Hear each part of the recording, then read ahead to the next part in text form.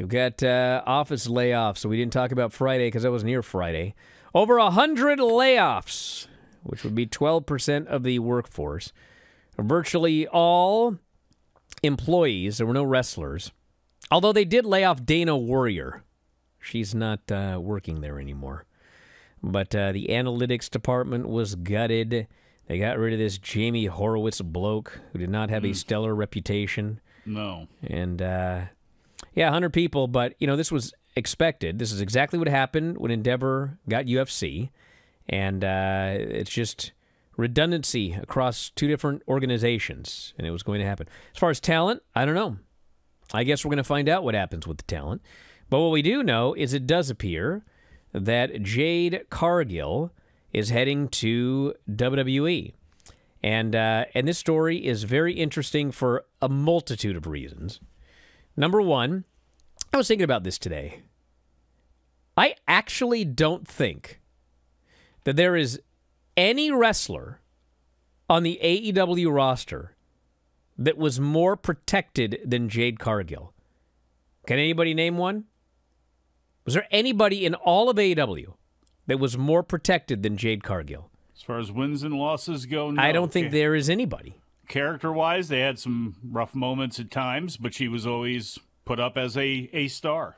I mean, yeah, the closest you can get is is uh, well, Moxley's. You know, Moxley. Yeah, I guess he's up there, and and uh, and MJF. But I mean, they both done multiple jobs.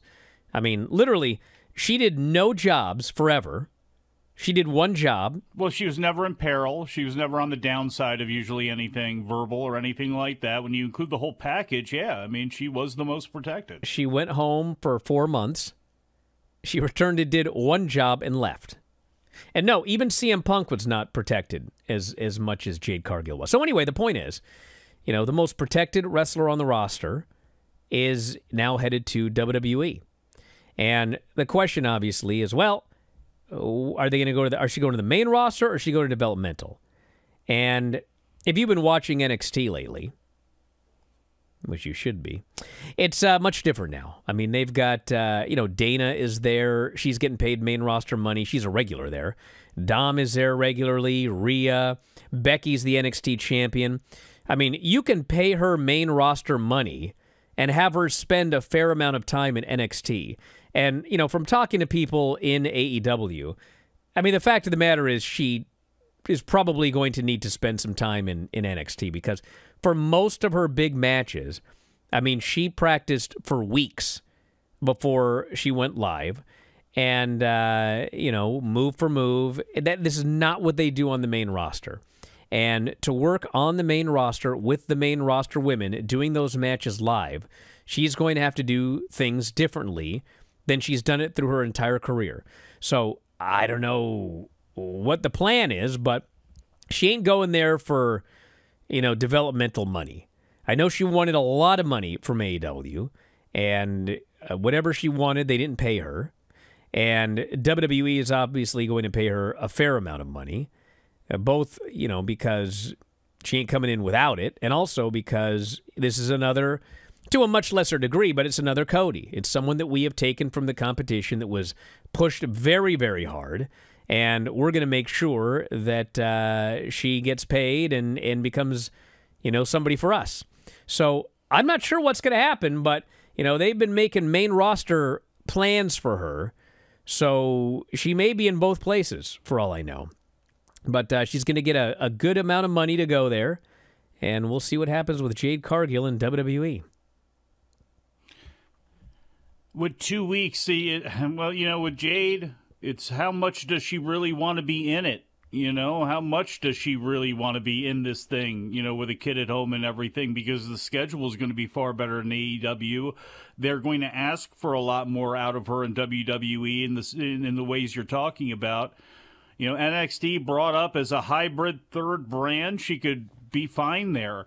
Here's the other thing what do you really want to use her for? You know, because she could wrestle 30 times a year you know, and be on TV every single week, but only wrestle 30 times, wrestle every two weeks, and then once on the pay per view if you need her there or something like that. It depends on what kind of character she comes in as. Does she come in as the women's division? Do you slide her in because of Cody and Brandi? Do you do you wink at that on her way in and you do something there? I mean, is she going to be aligned with anybody?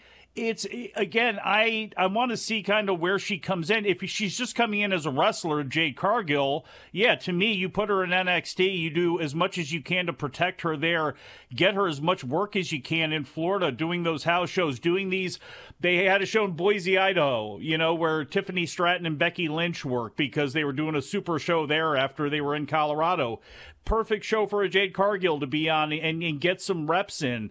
Do you do that sort of thing and protect her for a while? I think you can do that. But again, if you're bringing her in as a hybrid character and the money reflects that, because that's all she really wants to do, but you figure you can get something out of her because of how she looks.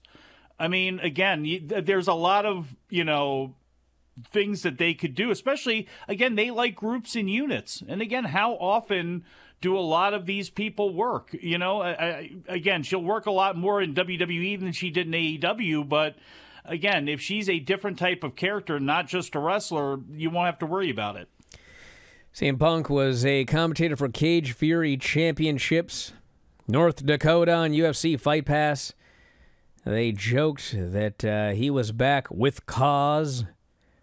And then CM Punk made a comment about how he had a lot of spare time for the next two months.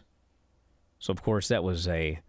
He's trying to make you think that he's going to show up in Chicago at Survivor Series. And he might. I don't know. I mean, I, I guess we'll see. But it actually got a lot less traction than I expected it to this weekend. I thought that people would be going crazy about that line, but they didn't. So, nah, wait till it gets closer. We'll see what happens. I mean, it'll get whipped. They're going to be there. Yeah. They're going to be there. The, the speculation, again, it just depends on how much takes hold and if people have any CM Punk fatigue. But I think as it gets closer, even if they could come out and say no, he could come out and say no. People are still going to expect him to be there or want him to be there or think that he's going to be there or whatever. So yeah, I think the thing will pick legs back up again. I'm surprised today, and not a lot of people or everybody's just kind of rolling their eyes at the report that CM Punk not looking for any legal action against AEW and anything like that right now. So, you know, that seems to be something that people have just kind of shoulder shrugged off. So maybe there is a little fatigue right now, but will WWE fans get excited before they're in Chicago? Probably. You know, I got to say that I, if I, if I, if you ask me my gut feeling right now, I would say that I don't think that CM Punk and WWE have communicated at all. Because to me, let's say that they've uh, agreed in in uh, whatever the term is that he's going to debut in Chicago at Survivor Series. Why in God's name would you hint at that on while doing commentary in an MMA show? That doesn't even make any sense. Like when he was going to debut in Chicago for AEW, I mean, he didn't say anything radio absolutely dead silent. So I don't know why. Uh, I don't know why he would would say that if that was actually like a plan right now. I think he's I think he's trying to get people talking and uh, we'll see what happens. Bar off. Look, I don't even. It may not have been even get people talking. You just know they're going to talk anyway. So you go ahead and you get it out of the way. You you you know self depreciating or whatever. You, you you say that and then you move on because that's all apparently that's ever said during those shows. You know, we hear that much of it and then we never hear anything else from his commentary the rest of the night. So you know think he gets blown out of proportion. It's like the, the him stabbing himself under the desk, where it's like this isn't news, people. Like it's just actually it's news a, the way he did it. Well, I, I heard the most from other wrestlers, not more from news fans. to older wrestlers because they're of, like, of what is he whole... doing? God, za, it's uh, Jiminy well... Christmas. so he's taking that uh, that uh, Abby Fork approach to it. No, I have you? I don't think I've seen that since Wahoo McDaniel and Abby and guys who have that type of of scar tissue on their head. I've seen those guys do that very quickly, but I don't. I haven't seen something like that from a dude like Punk. That was a surprise. You know, uh, you ever leave a check mark in somebody's forehead, Bryan? What? And then Anthony Bowens starts talking about Mr. Ass. He's in tears talking about Mr. Ass. One more time, he says, from your couch at home, scissor me, daddy ass.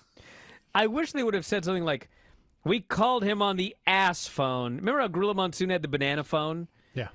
I just imagine a phone, an ass phone that they used to call. Billy I'm going to regret this Google search headline for an article on Vice from April of 2016. the secret world of tiny phones that go inside your butt. Oh, really? Wow, that's that's not quite what I was expecting. Nor, wait a second. There's an article on this. Can you can you send me this article? Okay, all right. Hold on a second. Hold on a second. Hold on a minute. Now, if you told me, Craig, please. What are we talking about? I don't know. Wrestling or Dynamite? something. Okay, collision, collision. House of Black versus Darius Martin in action and Teddy Lee Johnson. That's where you keep the phone. Sorry. Hey guys, did you love this clip? If so, you should join our channel. Just hit the join button, and you'll have full access to every single show that we do Wrestling Observer Live, Wrestling Observer Radio, The Bryan and Vinny Show, all of them in full HD, full length, plus archives of all of your favorite shows. Click join today and don't miss out.